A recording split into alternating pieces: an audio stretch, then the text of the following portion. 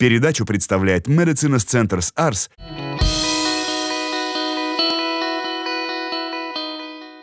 Рак груди – самое распространенное онкологическое заболевание среди женщин. Чтобы снизить заболеваемость, улучшить возможности лечения и сократить смертность от рака груди, важную роль играет диагностика для выявления болезни на ранней стадии.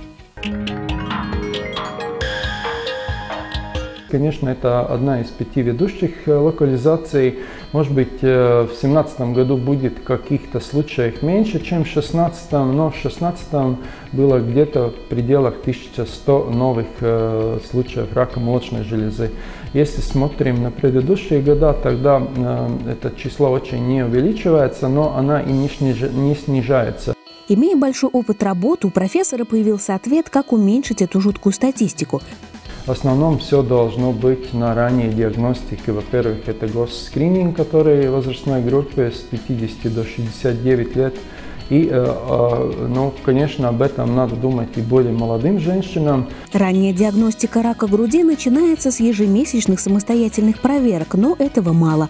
Поэтому в зависимости от возраста женщины и рекомендаций врача нужно проходить диагностику аппаратными технологиями, такими как ультрасонография и маммография. Manuprāt, nav pieļaujama ситуация, kad tiek atsevišķi... На мой взгляд, недопустима ситуация, когда проводятся отдельные обследования, не комбинируя их между собой. Это верный путь к диагностической ошибке. Ну, я думаю, что это одна из основных проблем Латвии, что ну, основное э, число э, женщин делает э, эти обследования в разных местах в разное время.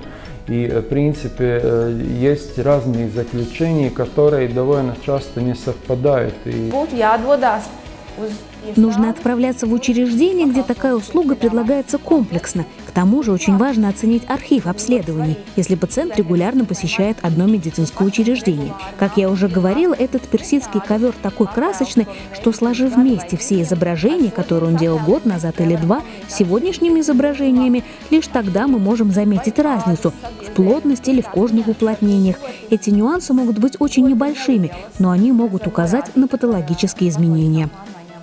Важно заботиться о здоровье своей груди с раннего возраста, ведь рак молочной железы обнаруживают у женщин все более молодого возраста. Осмотр молочной железы – это часть гинекологического осмотра. Гинеколог смотрит не только половые органы, но и должен обследовать э, молочную железу. И обследование э, груди необходимо раз в году каждой женщины, э, чтобы это сделал бы врач. Обычно это делает гинеколог, но это может быть и семейный врач.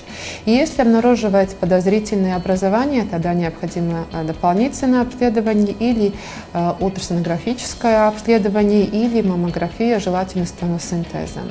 Напоминаем, что женщинам в возрасте от 50 до 69 лет государство оплачивает скрининг молочной железы. С письмом приглашением от Национальной службы здоровья такое обследование бесплатное. Поэтому призываем откликнуться на этот призыв, ведь это может спасти вашу жизнь. Желательно это профилактическое обследование начинать раньше, и начинать обследование груди следовало бы с маммографии уже с 49-летнего возраста. Маммография с технологией томосинтеза является незаменимым и уникальным методом исследования молочной железы. Существуют формы рака груди с микрокальцинатами, то есть мелким кальцинированием в тканях груди, которые может обнаружить только маммография. Nosacīt mēs varam iedalīt četrās категориях крūšu blīvumu. Условно мы можем разделить плотность груди на четыре категории, и в зависимости от этой плотности меняется чувствительность обследования. В данном случае мы видим, что плотность груди очень низкая. В связи с этим чувствительность маммографии чрезвычайно высокая. Это так называемая плотность типа А. Чувствительность маммографии при такой плотности до 98%. В свою очередь, при увеличении плотности молочной железы в груди чувствительность падает. Например, в случае ярко выраженной плотности желез чувствительность маммографического обследования составляет примерно 50%. И именно это те женщины, для которых чрезвычайно важен томосинтез. Томосинтез обеспечивает особые диагностические преимущества женщинам с маммографически плотной структурой молочной железы и расширяет возможности ранней диагностики, что невозможно выполнить с традиционной маммографией. Врач-радиолог всегда указывает плотность груди в описании обследования. Нередко бывает написано «нормальная структура плотности груди, но рекомендуется дополнительно пройти ультрасонографическое обследование». Это именно в тех случаях, когда структура молочной железы плотная, и мы на этом фоне можем не видеть патологии. Это те случаи, когда требуется дополнительное обследование. В клинике диагностики Medicines Centers Ars новая услуга для удобства клиентов, особенно занятых женщин.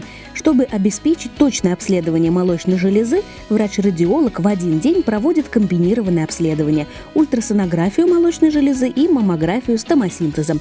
Оба метода дополняют друг друга и предоставляют полную информацию о структуре молочной железы. Tādēļ, kad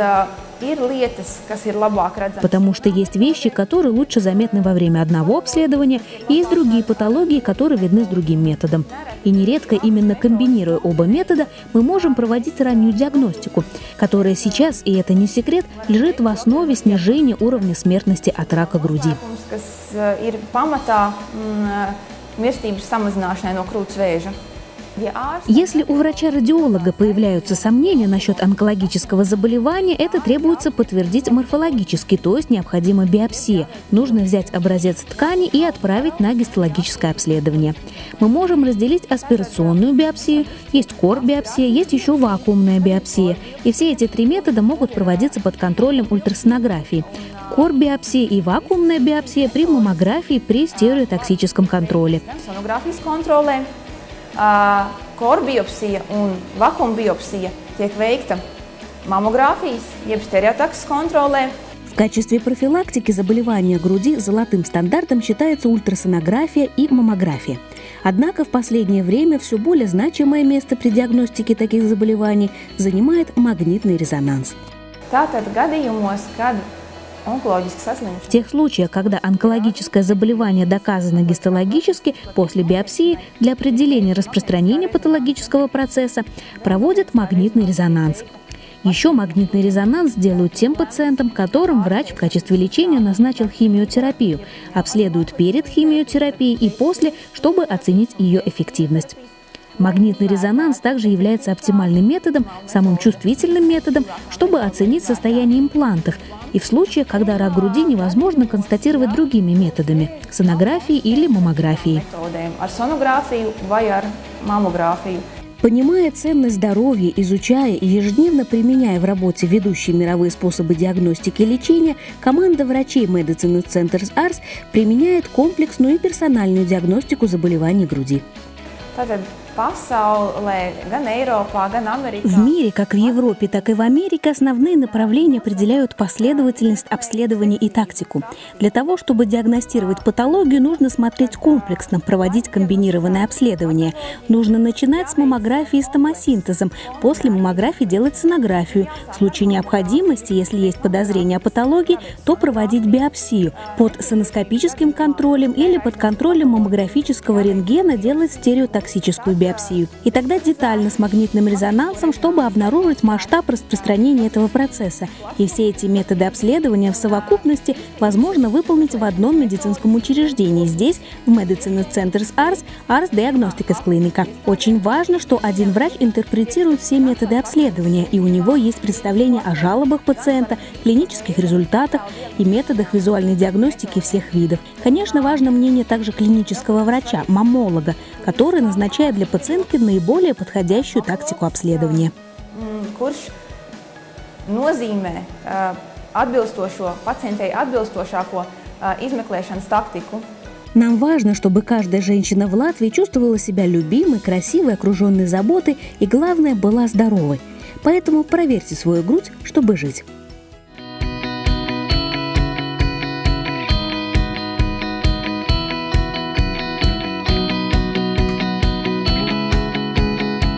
Передачу представляет Medicines Centers Ars